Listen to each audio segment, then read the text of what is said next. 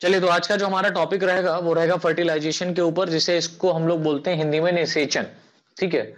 तो फर्टिलाइजेशन होता क्या है? ठीक है? और ये किस तरीके से पॉसिबल होता है? कहाँ कहाँ हो सकता है? राइट right, तो हम लोग इसको अच्छे से पढ़ते हुए आ रहे हैं। क्लास अलेवन ट्वेल्थ से ही आप लोगों ने इसको पढ़ना शुरू कर दिया था। नाइन टेंथ अलेवन ट्वेल्थ से ही पढ़ना शुरू कर दिया था। और फर्टिलाइजेशन प्रोसेस को हम लोगों ने बीएससी प्रीवियस में भी अच्छे से समझा था। और यहाँ पर आज हम लोग हायर नॉन कॉर्डेट में या हायर कॉर्डेट में जो फर्टिलाइजेशन हो रहा है मैमल्स में किस तरीके से फर्टिलाइजेशन हो रहा है, उसके बारे में यहाँ पर हम लोग डिस्कस करेंगे।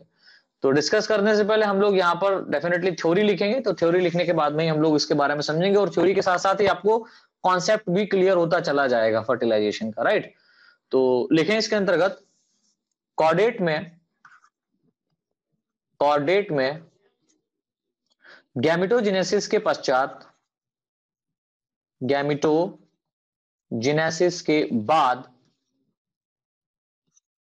फर्टिलाइजेशन प्रोसेस होता है। गैमिटोजिनेसिस के बाद फर्टिलाइजेशन प्रोसेस होता है, जिसमें मेल स्पर्म न्यूक्लियस जिसमें male sperm nucleus female egg nucleus के साथ फीमेल एग न्यूक्लियस के साथ फ्यूजन की क्रिया करता है फ्यूजन की क्रिया करता है, जिससे जिससे सिंगेमी कॉमा जैसे सिमगैमी कॉमा एम्फीमिक्सिस एम्फीमिक्सिस और इसी को हम लोग प्लाज्मोगैमी भी बोलते हैं सिंगैमी या सॉरी एम्फीमिक्सिस या प्लाज्मोगैमी ठीक है? वह वह केरियोगैमी फीमेल एग न्यूक्लियस के साथ फ्यूजन करता है, जिसमें सिंगेमी एम्फीमिक्सिस कैरियोगेमी प्रोसेस के द्वारा प्रोसेस के द्वारा फर्टिलाइजेशन कंप्लीट होता है। प्रोसेस के द्वारा फर्टिलाइजेशन कंप्लीट होता है। फर्टिलाइजेशन कंप्लीट होता है। जिस क्रिया को या जिस या इस कंप्लीट प्रोसेस को ही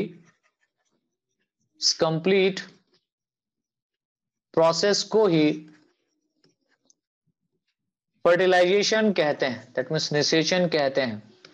तो यहाँ पर मैंने तीन टर्म लिखे हुए बेटा। पहला है सिंग गैमी, दूसरा यहाँ पर है एम्फी मिक्सिस एम्फी मिक्सिस और तीसरा यहाँ पर जो प्रोसेस मैंने लिखा है वो है कैरियोगैमी कैरियोगैमी अब बात यहाँ पर यह आ रही है कि ये सिंगैमी क्या होता है? एम्फीबिक्सिस क्या होता है? कैरियोगैमी क्या होता है?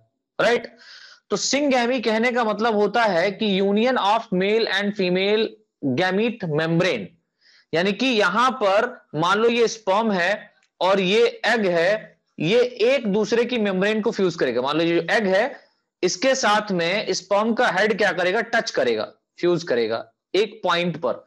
तो जहाँ पर स्पर्म और एग दोनों एक दूसरे को टच करते हैं दैट इज़ कॉल्ड सिंगैमी इस प्रोसेस को हम लोग क्या बोलते हैं? सिंगैमी कहते हैं। अब आपको पता है कि एग के अंदर खुद का प्लाज्म होता है और स्पर्म के अंदर खुद का प्लाज्म होता है।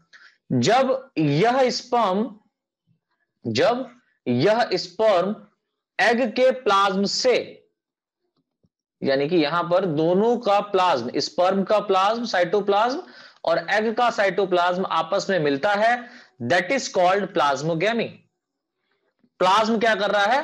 प्लाज्मोगेमी क्यों बोल रहे हैं? क्योंकि प्लाज्म यहाँ पर मिक्स हो रहे हैं राइट या एम्फीमिक्सिस दोनों के प्लाज्म आपस में, दोनों गैमिट के प्लाज्म आपस में मिक्स हो रहे हैं। मेल गैमिट और फीमेल गैमिट जैसे ही प्लाज्म मिक्स होता है देन इसके बाद में इसके जो न्यूक्लियस पाए जाते हैं बेटा जो न्यूक्लियस पाया जाता है, मेल न्यूक्लियस और फीमेल न्यूक्लियस, जो कि डेफिनेटली हैप्लॉइड होते हैं, आपको पता है।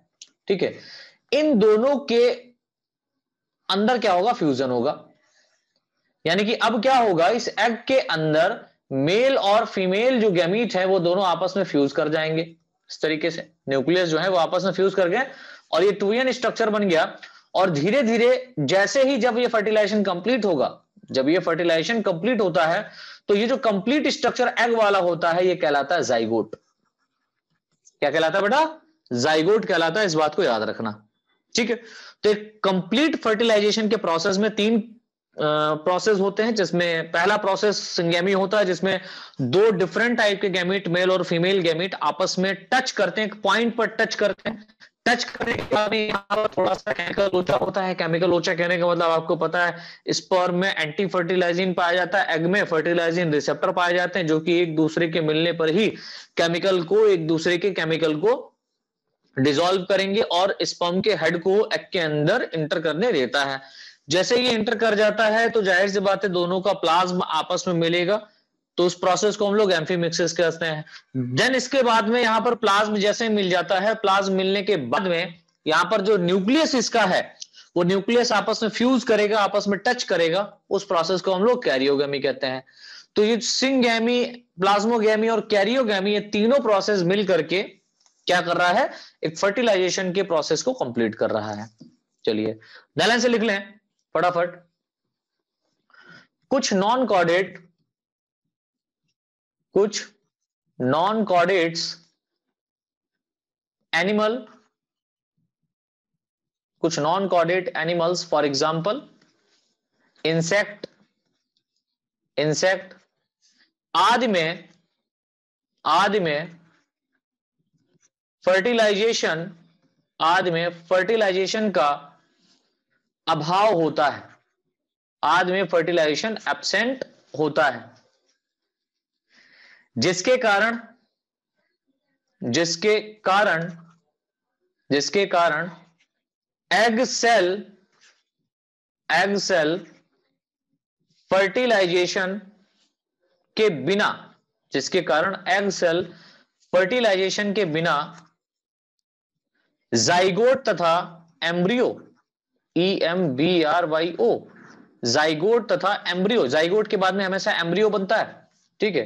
जाइगोट तथा एम्ब्रियो में चेंज हो जाता है। जाइगोट तथा एम्ब्रियो में चेंज हो जाता है। से लिखे। हम कह सकते हैं कि के जो जाइगोट में चेंज हो जाए गैमीट उस प्रोसेस को हम लोग पार्थेनोजिनेसिस कहते हैं। ठीक है, बिना गैमीट फ्यूजन के फर्टिलाइजेशन होना और एक नए इंडिविजुअल का बनना। और पार्थेनो पार्थेनोजेनेसिस इंसेक्ट के अलावा मेनली जो होता है वो आपको प्लांट्स में देखने को मिलता है। ठीक है? नए लाइन से लिखे यहाँ पर सभी लोग। नए लाइन से लिखे। फर्टिलाइजेशन हमेशा। फर्टिलाइजेशन हमेशा एक्वाटिक कंडीशन में होता है। एक्वाटिक कंडीशन में होता है। अब ऐसा नहीं है कि पानी में ही होता है। एक्वाटिक कहने का मतलब होता है जलीय अवस्था जलीय अवस्था। यानी कि यहाँ पर जो फर्टिलाइजेशन के लिए प्लेस होगा, ठीक है? या हम ये कह सकते हैं जो एनवायरमेंट होगा, वो लिक्विड फॉर्म में ही होगा, जलीय अवस्था में ही होगा। ठीक कंडीशन में होता है जो जो बॉडी फ्लूड अब पानी ना हो लेकिन बॉडी का जो फ्लूड है उसके द्वारा हो सकता है। जो बॉडी फ्लूड और जो बॉडी बॉडी फ्लूड और यानी बॉडी के अंदर अगर हो रहा है तो उसमें फ्लूड होगा बॉडी के अंदर, ठीक है? और पानी में अगर हो रहा है, कौन से वाले पानी में हो रहा है? फ्रेश वाटर में हो रहा है कि सी वाटर में हो रहा है तो इसके अलावा ये भी हम लिख सकते हैं। और फ्रेश वाटर फ्रेश वाटर और सी वाटर फ्रेश वाटर और सी वाटर में हो सकता है। में हो सकता है। लाइन से लिख लें।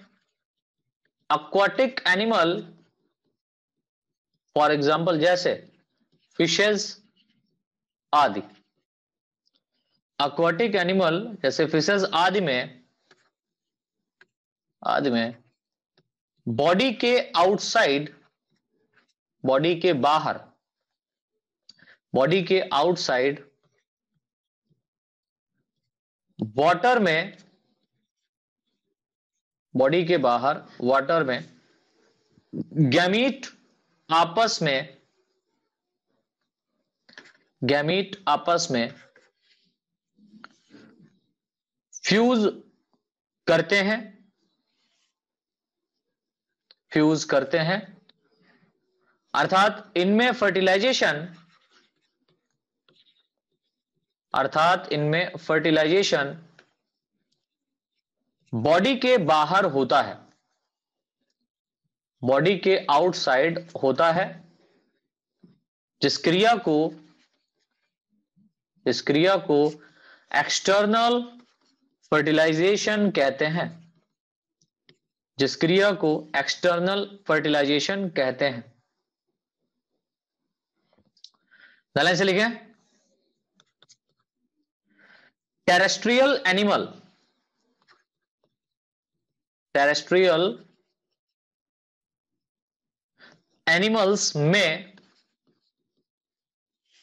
टेरेस्ट्रियल एनिमल्स में फर्टिलाइजेशन जल्दी लिखें टेरेस्ट्रियल एनिमल्स में फर्टिलाइजेशन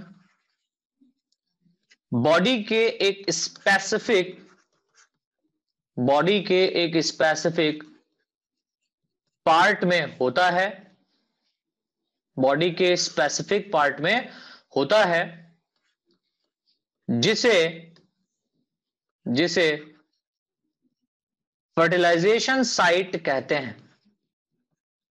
जिसे फर्टिलाइजेशन साइट कहते हैं। तथा बॉडी के अंदर होने वाला फर्टिलाइजेशन तथा बॉडी के अंदर होने वाला फर्टिलाइजेशन इंटरनल फर्टिलाइजेशन कहलाता है। इंटरनल फर्टिलाइजेशन कहलाता है। राइट नेलन से बेटा लिख लीजिए। रेप्टाइल्स व रेप्टाइल्स व बर्ड्स में रेप्टाइल्स व बर्ड्स में फर्टिलाइजेशन याद रखिएगा रेप्टाइल्स व बर्ड्स में फर्टिलाइजेशन ओविडक्ट ओविडक्ट फर्टाइल व सॉरी रेप्टाइल व बर्ड्स में फर्टिलाइजेशन ओविडक्ट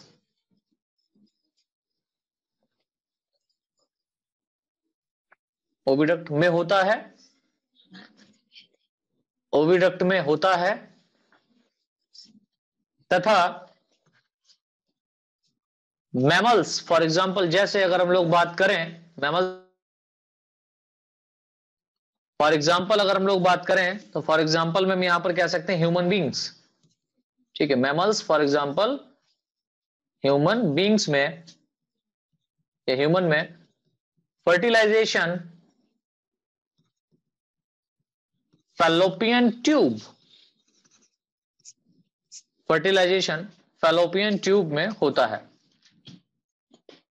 फर्टिलाइजेशन कहाँ होता है बेटा? फेलोपियन ट्यूब में होता है। चलिए अब हम लोग यहाँ पर समझेंगे कि जो फर्टिलाइजेशन का मैकेनिज्म है वो किस तरीके से हो रहा है। ठीक है? तो हेडिंग डाल दीजिए। Mechanism of fertilization mechanism of fertilization हम लोग देखेंगे। फर्टिलाइजेशन हम लोगों ने देख लिया था। है फर्टिलाइजेशन हम लोगों ने देख लिया था। आज का हमारा जो टॉपिक रहेगा, वो रहेगा मैकेनिज्म ऑफ़ फर्टिलाइजेशन अब ये जो मैकेनिज्म हो रहा है फर्टिलाइजेशन का, ठीक है, वो किस तरीके से हो रहा है, कितने चरणों में हो रहा है, उसको समझना तो लिख लें इसमें। कॉर्डेट्स में कॉर्डेट में फर्टिलाइजेशन का प्रोसेस कॉर्डेट में फर्टिलाइजेशन का प्रोसेस फॉलोइंग स्टेप्स में कंप्लीट होता है। फॉलोइंग स्टेप्स में कंप्लीट होता है। जस्ट नंबर एक। फ़र्स्ट पॉइंट लिखे हैं। नंबर एक। फर्टिलाइजेशन से पहले। फर्टिलाइजेशन से पहले स्पर्म में स्पर्म में बहुत सारे चेंजेस मेनी चेंजेस या मेनी केमिकल चेंजेस यानी केमिकल चेंजेस होते हैं होते हैं, जिसके कारण यह, जिसके कारण यह एक्टिव स्पर्म जिसके कारण यह एक एक्टिव जिसके कारण यह एक एक्टिव स्पर्म में चेंज हो जाता है। स्पर्म में चेंज हो जाता है। तथा तेज़ी से रैपिडली तथा तेज़ी से एग के पास पहुँच जाता है। तथा तेज़ी से एग के पास पहुँच जाता है। आगे लिखे। प्रत्येक स्पोम प्रत्येक स्पर्म केवल अपनी स्पीसीज के, प्रत्येक स्पर्म केवल अपनी ही स्पीसीज के, अपनी ही स्पीसीज के एग को या एग की ओर अपनी ही स्पीसीज के एग की ओर अट्रैक्टिव होता है। एग की ओर अट्रैक्टिव होता है। एग की ओर अट्रैक्टिव होता है। तथा इसके साथ साथ तथा इसके साथ साथ फर्टिलाइजेशन का प्रोसेस करता है। तथा इसके साथ साथ फर्टिलाइजेशन का प्रोसेस करता है। तो इतना समझ में आया आप सभी लोगों को? मैंने बताया कि जो फर्टिलाइजेशन का प्रोसेस है, या फर्टिलाइजेशन से पहले स्पर्म में क्या होते हैं? बहुत सारे केमिकल चेंजेस होते हैं। ठीक है फर्टिलाइजेशन से पहले स्पर्म्स के अंदर, यानी कि एक जो स्पर्म है, इसके अंदर बहुत सारा केमिकल चेंजेस होगा। और जैसे ये केमिकल चेंजेस होगा तो पहले तो स्पर्म बेचारा बड़ा सा उदास था। आप देख सकते हैं यहाँ पर। पहले स्पर्म क्या था? काफ़ी उदास था। मैंने बताया, पहले स्पर्म काफ़ी उदास था ये बेचारा। लेकिन जैसे इसमें केमिकल चेंजेस होते हैं, जैसे इसमें केमिकल चेंजेस होते हैं, ये काफ़ी एक्टिव हो जाता है। तो आँखें खुल जाती हैं, मुँह इस तरीके से हंसने लगता है। पहले सो रहा होता है, फिर हंसने लगता है। तो ये कैसा हो गया? एक्टिव हो गया। तो फ़र्स्ट ऑफ़ ऑल सबसे पहले क्या होगा? फर्टिलाइजेशन से पहले क्या होगा? स्पर्म्स में बहुत सारे केमिकल जो होते हैं चेंजेस होते हैं जिससे कारण एक एक्टिव स्पर्म में, यानी कि जिससे कारण, जिसके कारण हम ये कह सकते हैं inactive inactive sperm active sperm में क्या होता है? चेंज हो जाता है। ठीक है? और ये तेज़ी से क्या होता है? तेज़ी से क्या होता है? एग की ओर, ठीक है अट्रैक्ट होने लगता है। और इसमें एक स्पेशलिटी है कि जो भी स्पर्म होगा, जो भी स्पर्म होगा वो जिस भी स्पीसीज का होगा, उसी स्पीसीज के एग की ओर क्या होगा? अट्रैक्ट होगा। ये भी इसकी एक स्पेसिफिक बात है। ठीक है, उसी की तरफ़ अट्रैक्ट होगा, दूसरी तरफ़ नहीं जाएगा। यदि बाय द वे चला भी जाता है, यदि बाय द वे चला भी जाता है तो एग क्या होती है? इसको अपने अंदर एंटर नहीं करने देती। ठीक है तो नहीं, तुम मेरे नहीं हो, हम तुम्हें मार देंगे। तो उसको क्या करती है? एग एक केमिकल रिएक्शन निकालती है एसिड सेक्रेशन करती है, जिससे ये न्यूट्रलाइज हो जाते हैं। मतलब डिफरेंट स्पीसीज के। गले इसके साथ साथ अट्रैक्ट होता है तथा इसके साथ साथ फर्टिलाइजेशन का प्रोसेस करता है। आगे लिखिए, यह प्रोसेस स्पर्म में पाए जाने वाले, ये भी बहुत इंपॉर्टेंट बात है। यह प्रोसेस स्पर्म में पाए जाने वाले, यह प्रोसेस स्पर्म में पाए जाने वाले anti fertilizing anti fertilizing receptors anti fertilizing receptors व एग में पाए जाने वाले, व एग में पाए जाने वाले फर्टिलाइजिंग रिसेप्टर ये बहुत इंपॉर्टेंट रिसेप्टर होते हैं। ठीक है, ये जो रिसेप्टर होते हैं, ये लॉक एंड की, का, क्या करते हैं? काम करते हैं। जैसे कि आपके अनूप सर ने आप लोगों को जब एंजाइम पढ़ाएँगे वो तो अच्छे से समझाएँगे कि एंजाइम जो होता है, वो लॉक एंड की की तरीके से, किस तरीके से काम करता है। तो डेफिनेटली यहाँ पर ये जो एंटी फर्टिलाइजिन और फर्टिलाइजिन है, ये एक ऐसे रिसेप्टर होते हैं, जो एंजाइम के ही, या हम ये कह सकते हैं केमिकल रिएक्शन के द्वारा ही ये एक दूसरे को पहचानते हैं। कि हाँ आप मेरी स्पीसीज के हैं। अब कहती अब कहती कि आप मेरी स्पीसीज के हैं दोस्तों हम चिल्ला के कहता हाँ मैं आपकी स्पीसीज का हूँ, मुझे आने दीजिए अंदर। ठीक है? तो जो सबसे पहले स्पर्म पहुँचता है, और एक खास बात क्या है, एक स्पर्म एक ही एग को क्या करता है फर्टिलाइज कर सकता है। ये ये ये इसकी स्पीसीज के लेवल पे हम बात कर सकते हैं, यानी कि जो स्पीसीज डिफरेंट डिफरेंट स्पीसीज पाई जा रही हैं, उसके लेवल पर बात कर सकते हैं कि, लेकिन खास बात क्या रहेगी? खास बात यही रहेगी कि एक स्पर्म एक ही एग को क्या करेगा? फर्टिलाइज करेगा। अब आप कहेंगे, सर, कुछ ऐसे भी एनिमल हैं, कुछ ऐसे भी कॉर्डेट हैं, जिनमें एक साथ में वो कई बच्चों को जन्म दे सकते हैं। एक साथ में कई बच्चों को। एक साथ में एक बच्चे नहीं, बल्कि एक साथ में कई बच्चे। तो उसमें क्या स्पम एक ही एग को बार बार फ्यूज करता है? क्वेश्चन आता है बहुत सारा बच्चों के मन में।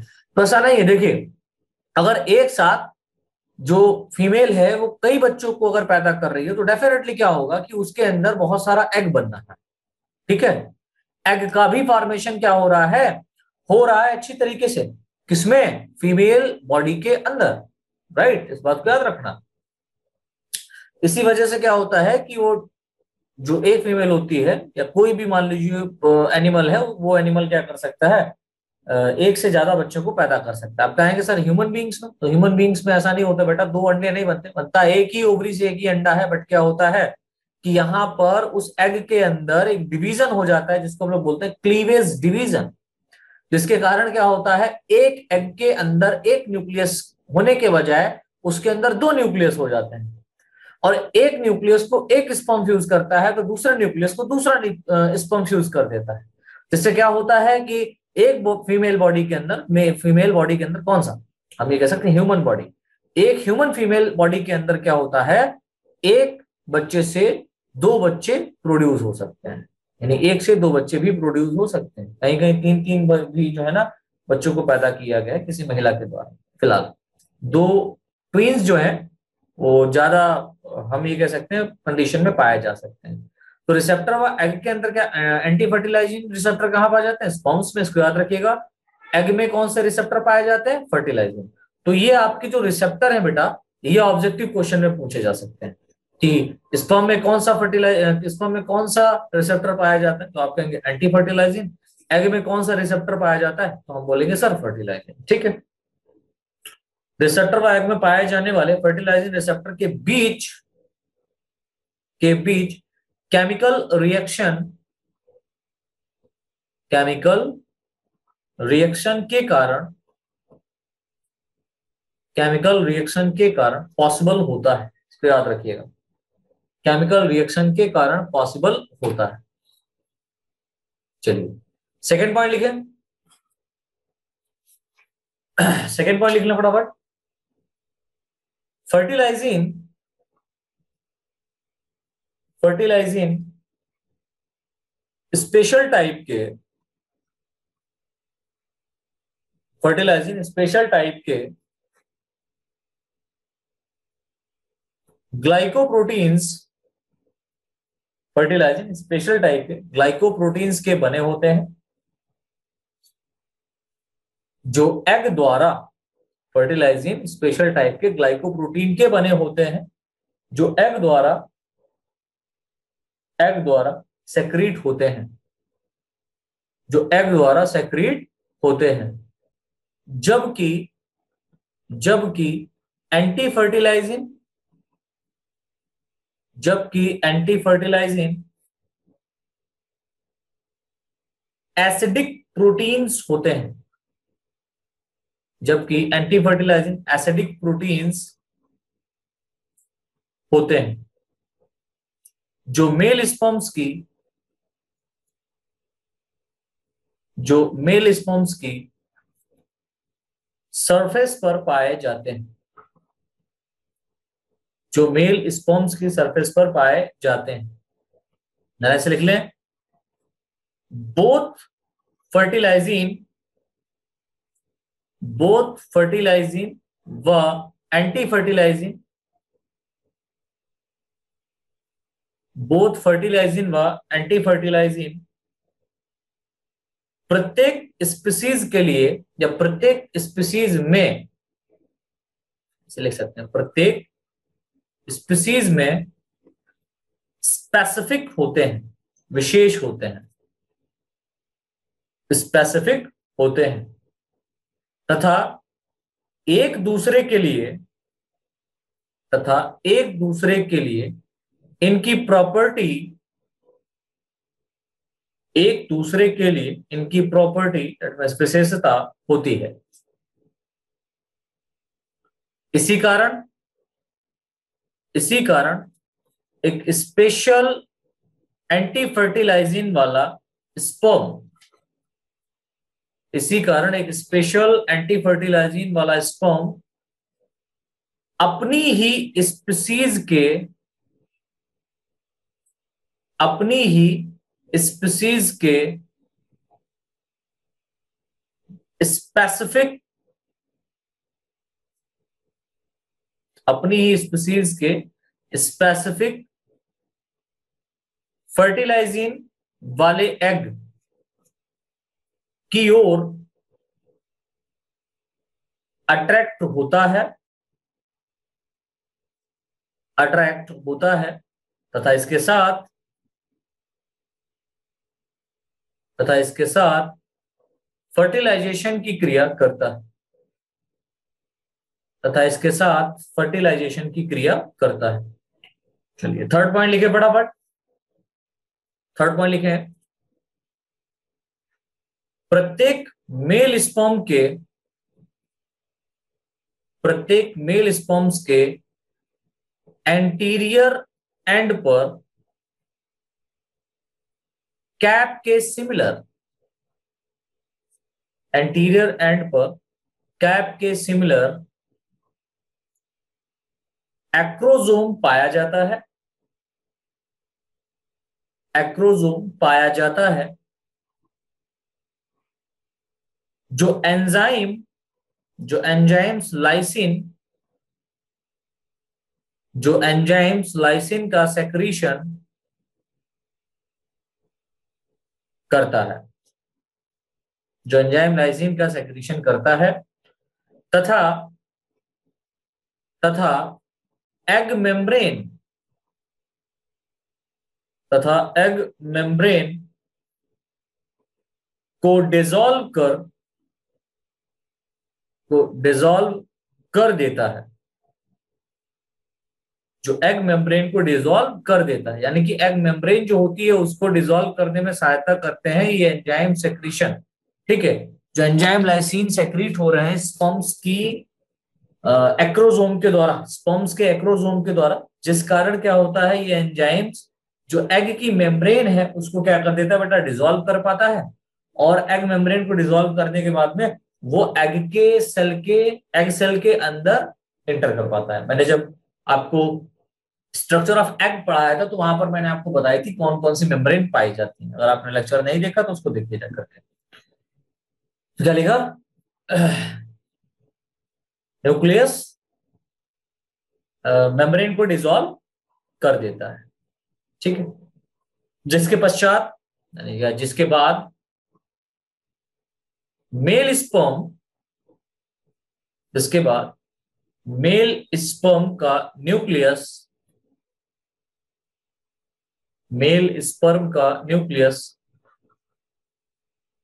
एग साइटोप्लाज्म में, या हम यहाँ पर हेड भी कह सकते हैं न्यूक्लियस या हेड एग साइटोप्लाज्म में इंटर करता है इंटर करता है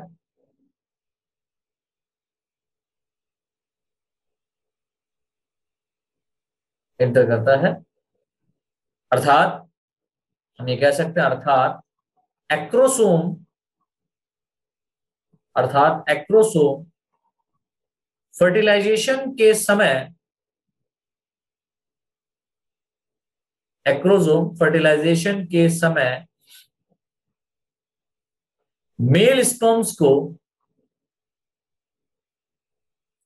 मेल स्पर्म्स को एग में इंटर करने में सहायता करता है। एग में इंटर करने में सहायता करता है। फोर्थ पॉइंट लिख लीजिए फटाफट। फोर्थ पॉइंट लिख लीजिए। मेल स्पर्म का मेल स्पर्म का केवल हेड रीजन केवल हेड रीजन ही एग साइटोप्लाज्म में ही एग साइटोप्लाज्म में इंटर करता है, प्रवेश करता है, जिसे जिसे मेल प्रोन्यूक्लियस जिसे मेल प्रोन्यूक्लियस कहते हैं। ठीक है, जिसे मेल प्रोन्यूक्लियस कहते हैं। अब ये फोर्थ पॉइंट कंप्लीट हुआ देन इसके बाद में आप एक लाइन छोड़ करके नई लाइन से लिखेंगे। एक लाइन छोड़ करके नई लाइन से लिखिएगा। किसी एग में, किसी एग में एक से अधिक, एक से अधिक स्पर्म इंटर करते हैं। एक से अधिक स्पर्म इंटर करके इंटर करके फर्टिलाइजेशन की क्रिया कर सकते हैं। फर्टिलाइजेशन की क्रिया कर सकते हैं। जिस प्रक्रिया को पॉलीस्पर्मी इस प्रक्रिया को पॉलीस्पर्मी कहते हैं। तो क्वेश्चन आपका एक नंबर में पूछा जा सकता है पॉलीस्पर्मी क्या होता है? पॉलीस्पर्मी कहने का अर्थ ये नहीं होता कि बहुत सारे स्पर्म्स का बनना पॉलीस्पर्मी कहलाता है, नहीं। पॉलीस्पर्मी कहने का अर्थ होता है कि एक एग के अंदर एक स्पर्म से ज़्यादा, ठीक है, एक स्पर्म से या एक स्पर्म से या एक या एक से अधिक स्पर्म्स का एंटर करना पॉलीस्पर्मी कहलाता है। हम ये बात कह सकते हैं। हम ये कह सकते हैं एक स्पर्म से ज़्यादा एग के अंदर एंटर करना पॉलीस्पर्मी कहलाता है और एंटर करने के बाद में डेफिनेटली फर्टिलाइजेशन की क्रिया करना। पॉलीस्पर्मी कहते हैं। इसे डिफरेंट मेथड द्वारा इसे डिफरेंट मेथड द्वारा प्रिजर्व किया जा सकता है रोका जा सकता है।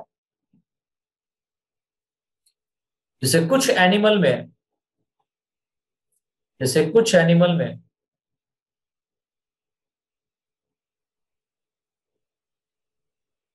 कुछ एनिमल में फर्टिलाइजेशन के तुरंत बाद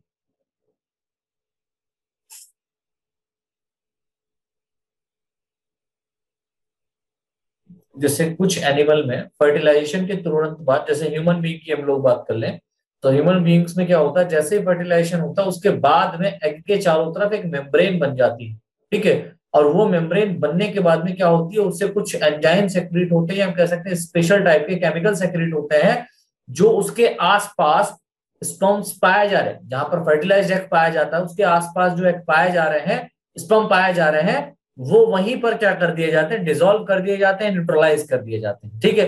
तो किसी किसी ह्यूमन बींग्स में या हम ये कह सकते हैं किसी किसी एनिमल्स में ये विशेषता, ये प्रॉपर्टी पाई जाती है। क्या पाई जा रही लिख लो, मैं फिर बताता हूँ, क्या लिखा? जैसे कुछ एनिमल में फर्टिलाइजेशन के तुरंत बाद एक फर्टिलाइजेशन मेम्ब्रेन एक फर्टिलाइजेशन मेम्ब्रेन प्रोड्यूस करने के बाद फर्टिलाइजेशन मेम्ब्रेन प्रोड्यूस करने के बाद रोका जा सकता है। रोका जा सकता है। तथा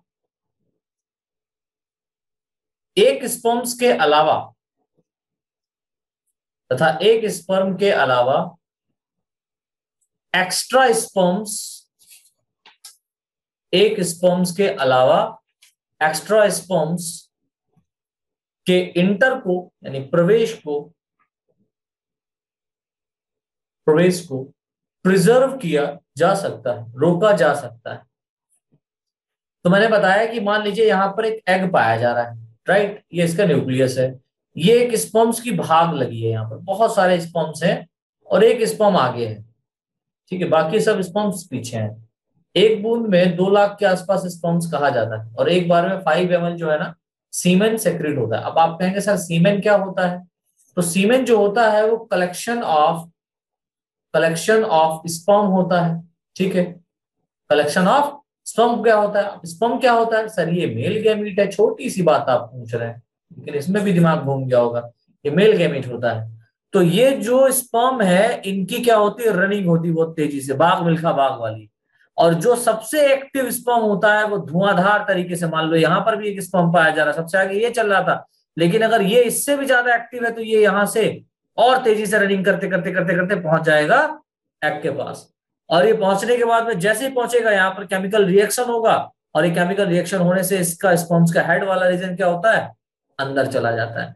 और बाकी का टेल वाला रीजन बाहर। और जैसे ही फर्टिलाइजेशन होता है, जैसे ही फर्टिलाइजेशन होता है यानी एग और स्पर्म एग और स्पर्म सेल राइट इन दोनों के न्यूक्लियस फ्यूज होते हैं। वैसे ही एग जो होता है अपने चारों तरफ़ एक स्पेशल मेम्ब्रेन की कवरिंग बना लेता है। एक स्पेशल मेम्ब्रेन की कवरिंग बना लेता है, जिससे एक्स्ट्रा जो स्पम्स यहाँ पर आए हुए हैं, ये जो एक्स्ट्रा स्पम्स यहाँ पर दौड़ दौड़ के आए हुए हैं, इन एक्स्ट्रा स्पम्स को क्या कर दिया जाता है? इनके ऊपर एक केमिकल सेक्रेशन कर दिया जाता है, जिससे ये सारे के सारे बेचारे न्यूट्रलाइज हो जाते हैं। और कुछ अब जब ये स्पॉम बन जाती है तो इस स्पॉम सॉरी ये जो मेम्ब्रेन बन जाते हैं, इस मेम्ब्रेन को भेदने की पावर या हम कह सकते हैं एंटर करने की पावर इनके, इन स्पॉम्स में नहीं पाई जाती जिस कारण क्या होता है बेटा? ये वहीं पर अपना सर पटक पटक के, पटक पटक के, पटक पटक के मर जाते हैं। ठीक है? तो इस तरीके से बच्चा, ये हम लोग का यहाँ पर ये प्रोसेस जो होता है फर्टिलाइजेशन का और फर्टिलाइजेशन मैकेनिज्म ऑफ़ फर्टिलाइजेशन ये हम लोग का कंप्लीट होता है। ठीक है? अगर ये एग्ज़ाम में अगर आपका आ जाता है फर्टिलाइजेशन के प्रोसेस को समझाइए तो आपको पूरा लिखना पड़ेगा। फर्टिलाइजेशन के बारे में लिखना पड़ेगा देन उसके बाद में इसका मैकेनिज्म किस तरीके से होता है उसको लिखना पड़ेगा। चलो। और इसके बाद में हमारा जो नेक्स्ट टॉपिक रहेगा, वो रहेगा क्लीवेज के ऊपर। बहुत इंपॉर्टेंट है। लॉन्ग क्वेश्चन आपका पूछा जाता है क्लीवेज के ऊपर। तो मैं इसको डिस्कस करूँगा कल।